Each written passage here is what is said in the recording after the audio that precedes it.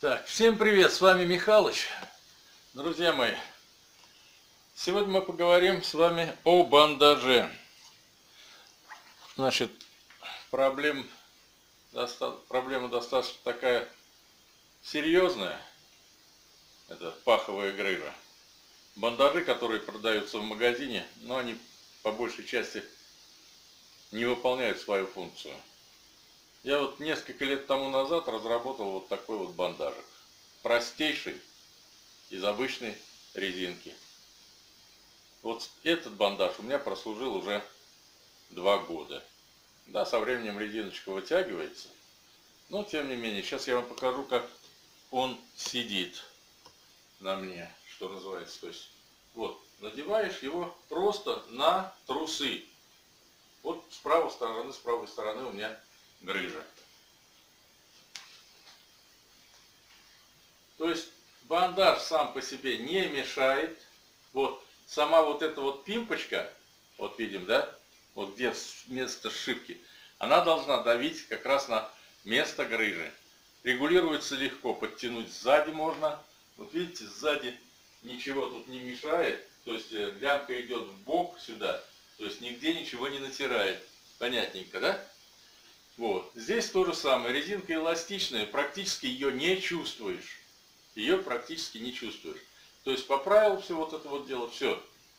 Спокойно я вот могу в лес за грибами, там на 3-4 часа я хожу, я себя спокойно чувствую. То есть мне ничего не мешает.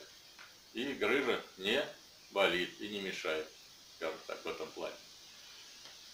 Вот, значит, каким образом, как можно сделать подобный бандаж. Вопрос задают именно такой, как сделать, где купить. Насчет купить, вы такой вряд ли где купите. Его надо делать. Его надо делать самому. Значит, смотрите, для начала возьмите метр, вот такой вот. И если у вас правосторонняя игры, то в правую руку начало метра взяли. Видите, да? Вот. Теперь опоясываем вот в правой стороне начало метра и по поясу прошли сюда и ведем вот сюда к этой грыже. Вместе грыжи, где у вас эта грыжа, сюда замеряем, вот поставили. И дальше второй конец пропускаем снизу и вот сюда. Вот. Понятно, да? И теперь смотрим, какой длины вам понадобится резинка. У меня 147 сантиметров. Вот. То есть столь такую резинку покупаете, полтора метра, вот мне достаточно, вполне. У кого, скажем, там объемы побольше, там, ну, может быть, максимум 2 метра, и то навряд ли. Дело в том, что ее еще и останется немножечко. Значит, далее. Какие, какой вариант должен быть натяжки? Это очень важный вопрос. Бандаж не должен быть натянут со страшной силой и постоянно давить. Бандаж вы должны практически не чувствовать. То есть он должен быть как плотные трусы, ни больше, ни меньше. Вот. Делаем то же самое. Правосторонняя грыжа, в правую руку берем край э, резинки. Резинка должна быть средней жесткости такая. Вот. Пропускаем его сюда и накладываем вот сюда. Теперь делаем легкую натяжечку. Легкую натяжечку. Вот так вот. С учетом того, что вот накладываем вот так вот, чтобы у нас вот эту часть можно было завернуть вот сюда и прошить вот это вот все. Понятно, да? То есть немножечко подлиннее. Вот так вот. Ясно, да? То есть вот так, чтобы вы попробуйте, какая натяжка должна быть, чтобы вам было комфортно и чтобы вам не давила эта резинка. Ну и, конечно, чтобы она попросту сильно не болталась. Вот. Отметили это место. Можно взять э, мелочек или э, мыло и нарисовать здесь вот отметочки, где вы будете сшивать.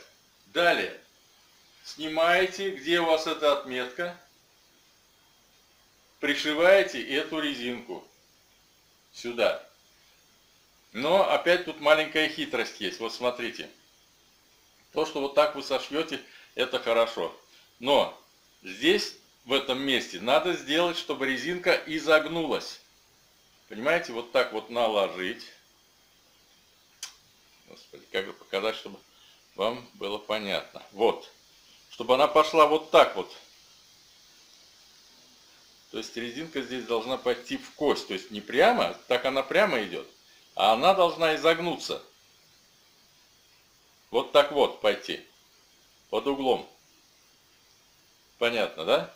Почему? Потому что здесь вот она должна пойти у нас вниз уже дальше, а не прямо. Иначе здесь будет вот так топорщиться, а нам это место должно прижиматься наоборот. Ясно, да? Вот. Вот такой вот загиб сделали. Наложили чуть побольше, вот так вот. И теперь уже эту резинку пришиваем вот сюда. Все вот и в одном куске, как говорится. Понятно, да? Сшиваем. Вот что у меня получилось на моем бандаже. Видно, да? Так. Ну-ка попробуем включить фонарик. Вот. Вот так вот, наверное, понятно, да? То есть, это идет вверх, а эта вот часть, которая пойдет между ног, она идет вниз, как бы вот от этой штуки. Вот. Ну и дальше, оставшуюся часть, уже когда вот это вы сошьете, это сошьете, да? Вот. Вот смотрите, да? Это сшили, и берете уже здесь, подтягиваете вот так, то есть она у вас будет здесь сшита. Натягивайте так, чтобы вам было опять-таки комфортно все это дело. Чтобы она не поднималась сюда резиночка, а для этого вот она должна быть подтяжка. И с другой сильная подтяжка не нужна, чтобы она у вас вот здесь вот не стаскивала. Понятно, да? Вот рукой точно так же отметили, сколько. Вот. Здесь резиночку обрезаем. И уже вот в этом месте мы ее, опять-таки, пришиваем. Понятно, да? Может быть, я не так уж, как бы понятно рассказываю, но постарайтесь рассмотреть все вот это вот дело, насколько, как все это дело сделано. Сделано все очень просто. Вот. Еще раз показываю, как она у нас находится на теле. Вот. Вот такой вот вариант. Все. Чтобы здесь вот она сильно вот так не тянула, не стаскивала у вас. Понятно, да? А так, чтобы она держала хорошо. И чтобы, как говорится, перетяжки большой не было. Вот. Есть еще один вариант. Я вот сегодня сделал вот такую вот чисто для того, чтобы показать вам. Если, скажем так, вы кому-то там, родственники там попросили там или еще что-то сделать вам бандаж, а вы точно не знаете размер, как говорится, ну вы попросите, чтобы они замерили вот эту вот э, штуку, вот это вот расстояние, как я вам показывал. То есть сколько надо резинки по большому счету. То есть примерно вы будете уже ориентироваться. Вот, да? Замерили. Взяли нужное количество резинки. Теперь, вот смотрите, чем отличается вот этот бандаж от того? Тем, что он регулируемый. Регулируемый. Вот, понимаете? Но со временем резиночка может вытягиваться, ее можно подтянуть. То есть здесь вот одна у нас пряжечка, которая натягивает вот эту вот часть. И вот вторая пряжечка сзади, которая натягивает вот эту ленточку. Вот смотрите смысл. Опять-таки вот здесь вот видите, вот как прошито место соединения, то есть опять-таки под углом. Это обязательное правило. Если вы этого не сделаете, а просто так, у вас будет вот так вот топорщиться, и там место, которое должно контролироваться, прижиматься, оно у вас не будет прижиматься. В этом вся фишка. Вот смотрите. Надеваем. И подгоняем опять-таки. Смотрим, где нам удобно, где неудобно. Если так, ослабить можно немножечко. Вот. Если так. где-то здесь подтянуть можно. Вот, да? Достаточно. Вот. Выбрали, походили. Если все удобно, если все нормально, вот эти вот места просто-напросто можно иголочкой, двумя стежками закрепить, чтобы у вас она, ну, не болталась, лишнее отрезать и э, поджечь э, вот места, вот эти вот. Вот так вот, видите, как они обожжены спичкой обычной. Тогда она, резинка, не будет лезть, не будет распускаться.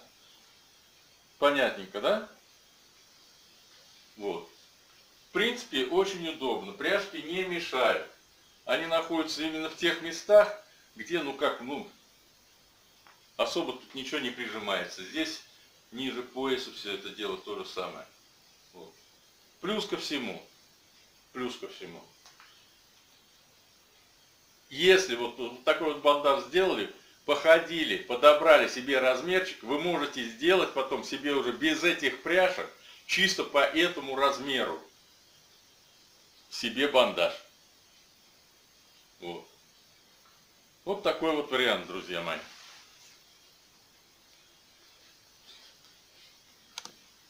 Так что дерзайте, задавайте вопросы в комментариях. Постараюсь на все вопросы ответить. Но я думаю, что я вполне, скажем так, ну максимально разжевал, как можно сделать подобный бандаж. Люди задавали подобные вопросы. Резинка, еще раз говорю, она должна быть средней жесткости, не должна быть максимально, если самая жесткая, это для ботинок, там, обувная резинка так называемая, но она слишком жестковатая. Есть мягкая резинка, та слабоватая, вот надо среднюю брать, вот такую вот. Это уже проверено, то есть э, самый лучший вариант. Делайте, удачи вам. Но если что не получится, сами не сможете сделать, пишите, попробуем чем-то помочь. Всем всего доброго.